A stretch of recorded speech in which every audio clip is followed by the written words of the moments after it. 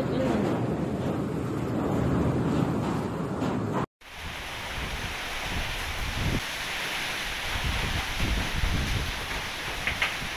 Mas pa ang bagyong may international name na Rai habang papalapit sa Philippine Area of Responsibility. Huling nakita kaninang hapon ang sentro ng bagyo, 1,000 kilometers east of Mindanao. Ayan mga kapuso, halos nakadikit na yan doon sa Parline. Ang lakas ng hangin niya ngayon, umaabot na ng 100 kilometers per hour malapit sa gitna. Ang bugso, 125 kilometers per hour. Ito ay kumikilos west-northwest sa bilis naman na 25 kilometers per hour. Sa latest forecast track ng Joint Typhoon Warning Center o JTWC, anumang oras ngayong gabi mga kapuso ay posibleng pumasok na ito ng PAR at tatawagin itong bagyong Odette. Didiretso yan patungo dito sa may uh, Surigao del Norte, tatawid ng Visayas. Pero mga kapuso, dahil nasa karagatan pa, eh inaasahan na lalakas pa itong uh, binabantayan nating severe tropical storm at posibleng maging isang typhoon ito bago maglandfall sa bansa. Ito, ito ay papalapit at tatama dito sa may Surigao, makikita nyo mas malaki na yung lugar na merong mahigit isang daang kilometro kada oras at bago tumama yan, makikita nyo meron ng kulay pula, yan yung kulang-kulang mga 200 kilometers per hour. Inaasahan na tatama itong bagyo dito sa may Caraga o kaya naman kung magbabago ng bahagya yung kanyang direksyon, pwedeng dito sa may Eastern Visayas, yan yung Samar Leyte provinces o kaya naman dito sa may Surigao del Norte o dyan sa may Surigao del Sur. Kaya mga kapuso, ha, ito pong mga binanggit nating lugar, yan yung mga dapat maghanda doon sa posibleng unang tamaan ng bagyo. Pero siyempre, yung lahat ng mga Visayas Islands na yan, eh dadaanan nitong malakas na bagyo ito.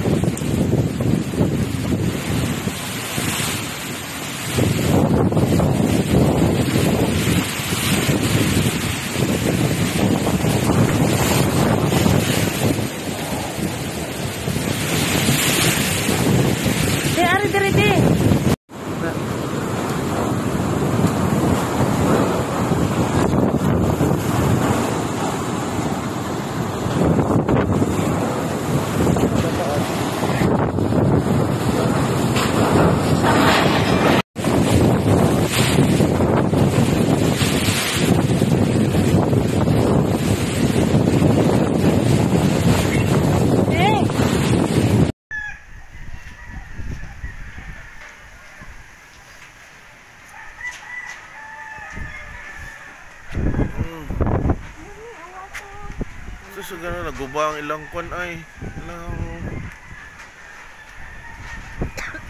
ilang ikay ang ilang yan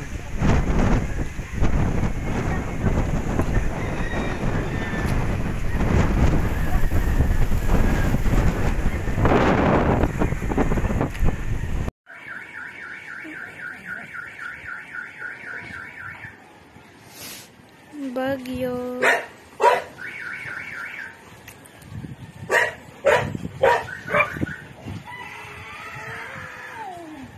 Running.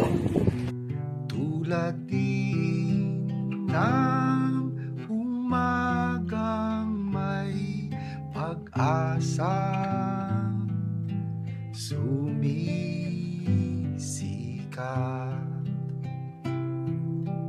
Ah,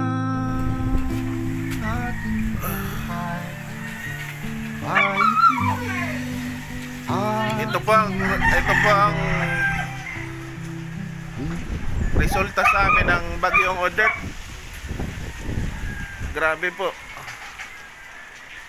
Grabe po. Pero pasalamat po kami dahil buhay po kami dito.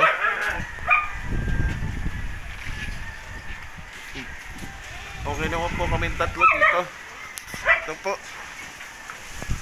talaga pong wasak na wasak po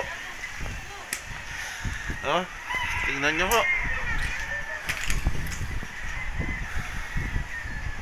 wasak na wasak po ang bahay There is a man who lives in my heart. It flies in infinity.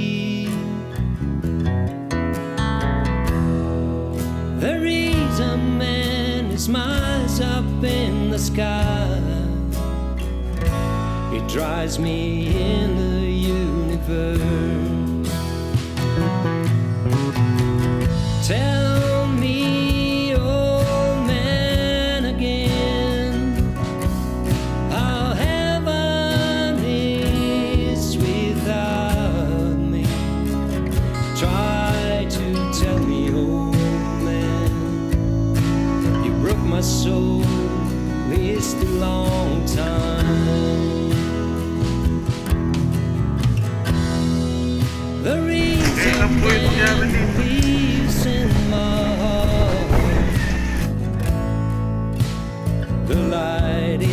is his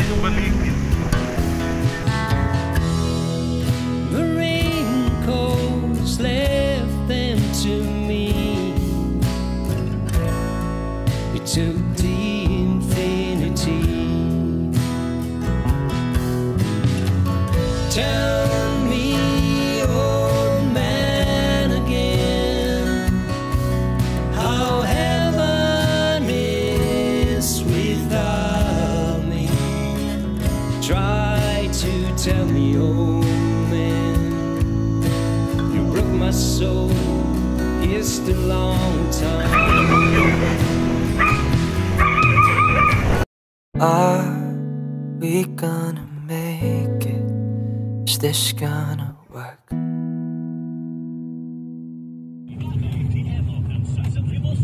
Oh, could try to sedate it, but that never works.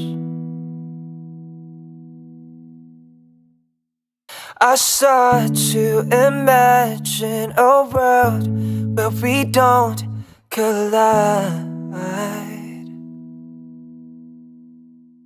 It's making me sick, but we'll heal and the sun will rise. If you tell me you're leaving, I'll make it easy. It'll be okay. If we can't stop the bleeding, we don't have to fix it. We don't have to stay. I will love you either way. I will love you either way. It'll be okay. Grabe. Gasolina oh.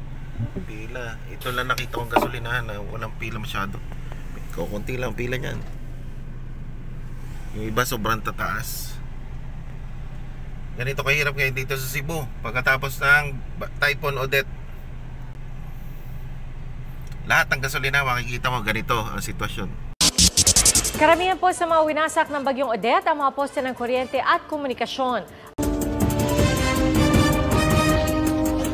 Pasyalan sana ngayong Pasko ang Naga City Boardwalk sa Cebu pero winasak ito ng bagyong Odette. Itinumba ang Christmas tree, pinadapa ang mga puno at nawasak din ang mga semento. Spirit